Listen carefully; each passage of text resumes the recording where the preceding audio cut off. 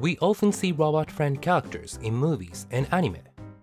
They have been a staple in the world of fiction for a long time now. And today, we see frequent news reports about the many companies that are developing robots. But think about it for a moment.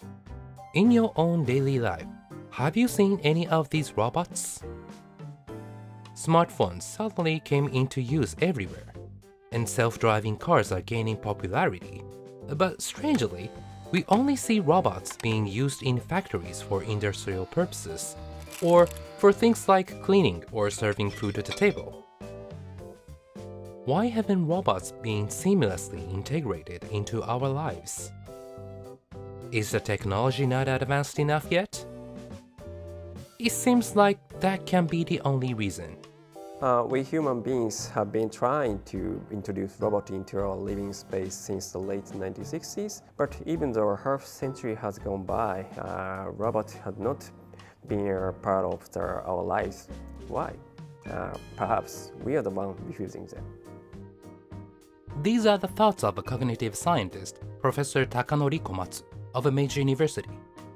He analyzes human-agent interaction and the relationship between people and artifacts mainly focusing on cognitive aspects of the users.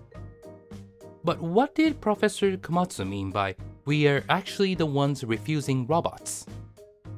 This means that, that there is a possibility that uh, we unconsciously feel creepy, uncanny, or the sort of uneasiness about robot. For instance, we sometimes can see the picture and the drawings of the yeah, like a human being and robot shaking hand each other. They're in science magazine or the flyer of the robot-related event. But we may not be actually thinking like, uh, let's make friends with robot. So I would like to clarify our view or the perception of the robot, especially in terms of the to-do feelings uh, of the robot versus public stances. In order to do this, Professor Komatsu conducts unique research in which he uses thought experiments and analyzes the data he collects. One famous thought experiment is called the trolley problem. A runaway trolley is barreling towards four workers on the tracks. If someone who is near the railroad switch pulls the lever, the trolley will switch tracks and the four people will be saved. But there is one worker who is on the other track, and that person will definitely be struck. So should that someone who is by the switch pull the lever and change the track?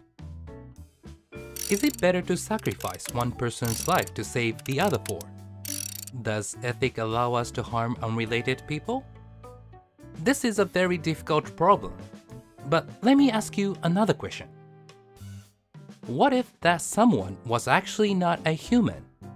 You guessed it, that someone is a robot. What do you think it should do?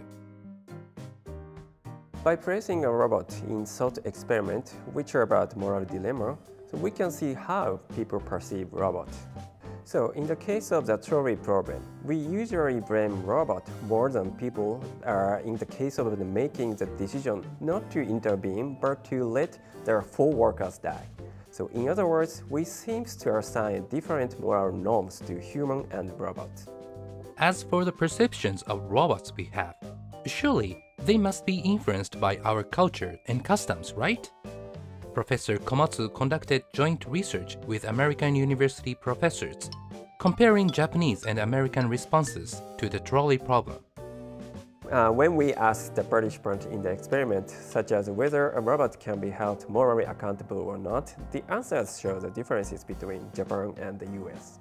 In the US, the many participants reported that they are skeptical about the robot's capacity or the abilities, like a robot would not be able to make the, this kind of serious decisions in the first place.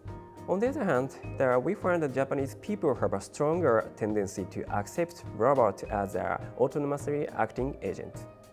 This study revealed that the degree of blame were the same in both countries if the robot does nothing and let the four workers die. As you know, the manga or anime about the various kind of robots are quite popular in Japan. So it said that uh, this makes Japanese people have a strong affinity for the robot.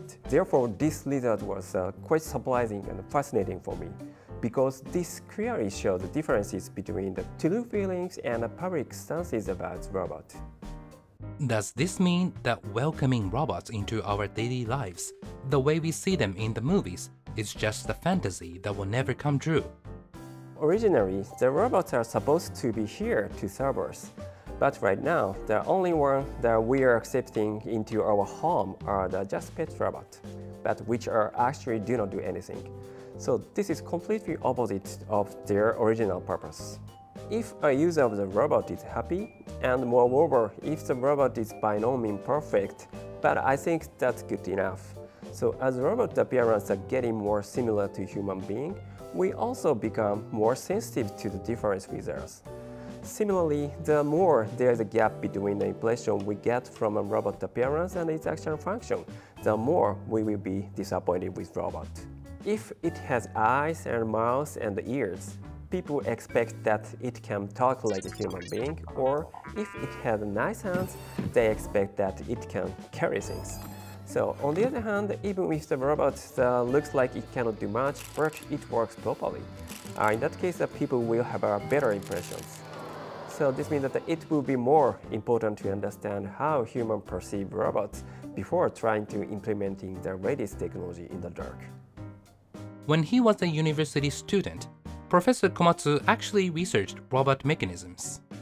As I continued my research at graduate school where I study abroad, I gradually come to realize the limit that what robots can do. For example, the robots need to be taught everything from 1 to 10, but we humans can do a tremendous variety of things by means of their ability to apply ourselves without being taught everything. I thought that if we want to make a really smart robot, so we should know more about human being. And this was the starting point of my interest in cognitive science. So why aren't robots who are like friends common in our lives yet? The reason might be because of the way we feel. Developing a robot that can communicate as well as humans and that can do everything is a kind of the dream of the scientist, but whether it will truly satisfy humans' demand or not is a completely separate issue. So I never want to deny the technology itself, but rather I believe that the robot will be better for us if we can understand the better human beings are characteristics by ourselves. I believe that there's still the plenty of rooms to consider from our human side, uh, especially in order to achieve the ideal human-robot relationships. If we could know how human users feel about or perceive the robot, this robot can surely be useful to us in some way, even if it is by no means perfect. This forward-looking research is working to find a way for us to live together with robots.